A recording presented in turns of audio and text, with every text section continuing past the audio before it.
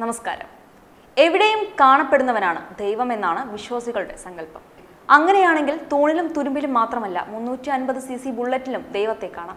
ഇത് പറയുന്നത് ഏതെങ്കിലും കടുത്ത ബുള്ളറ്റ് പ്രേമിയോ റൈഡറോ ഒന്നുമല്ല. രാജസ്ഥാനിലെ ഒരു ഗ്രാമം മുഴുവനുമാണ് മുന്നൂറ്റി അൻപത് സി സി റോയൽ എൻഫീൽഡ് ബൈക്കിനെ ദൈവമായി ആരാധിക്കുന്നവർ. ബുള്ളറ്റ് ബാബയെ ആരാധിക്കുന്ന ബുള്ളറ്റ് ക്ഷേത്രത്തിന്റെ കഥ നമുക്ക് അറിയാം.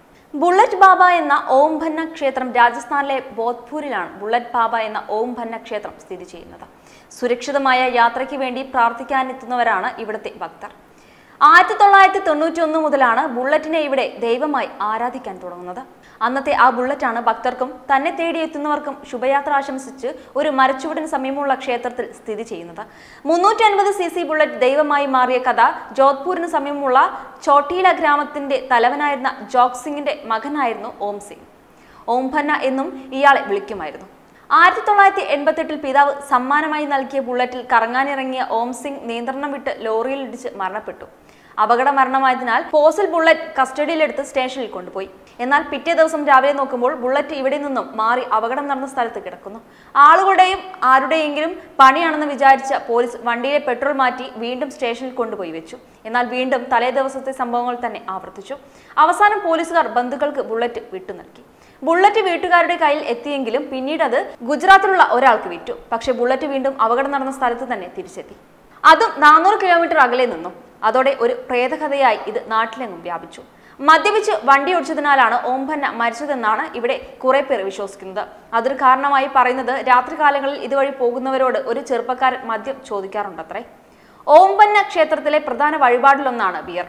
ഇവിടെ എത്തുന്നവർ ക്ഷേത്രത്തിന് മുന്നിൽ എത്തുമ്പോൾ ബിയർ മേടിച്ച് ഓംഭന്നയുടെ മാർബിളിൽ നിർമ്മിച്ചിരിക്കുന്ന രൂപത്തിൽ അഭിഷേകമായി ഒഴിക്കുമത്രേ.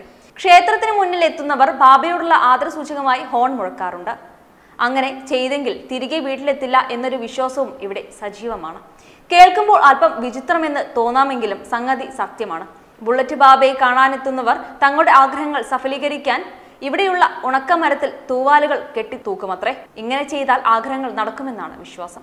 ആയിരത്തി തൊള്ളായിരത്തി തൊണ്ണൂറ്റി ഒന്ന് മുതലാണ് ദൈവമായി ആരാധിക്കുന്നതെങ്കിലും ഇപ്പോൾ ഓം ഓംഭന്നയെ കുലദൈവമായി ആരാധിക്കുന്ന രജപുത്രനും ഇവിടെയുണ്ട്. വിവാഹ ദിവസം ഇവിടെ എത്തി പ്രാർത്ഥിക്കുന്നവരും കുടുംബത്തിലെ നവജാത ശിശുക്കളെ ഇവിടെ കൊണ്ടുവരുന്നവരും ഒന്നും ഒട്ടും കുറവല്ല. കൂടാതെ ഇവിടെ വെച്ച് കുട്ടികളുടെ മുടി ആദ്യമായി മുറിക്കുന്ന ചടങ്ങും നടത്താറുണ്ട്.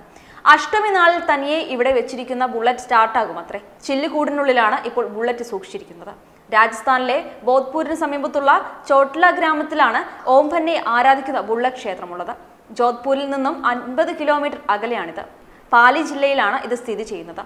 പാലിൽ നിന്നും ഇരുപത് കിലോമീറ്ററാണ് ക്ഷേത്രത്തിലേക്കുള്ള ദൂരം. വെബ് ഡെസ്ക് തത്തമി ന്യൂസ്.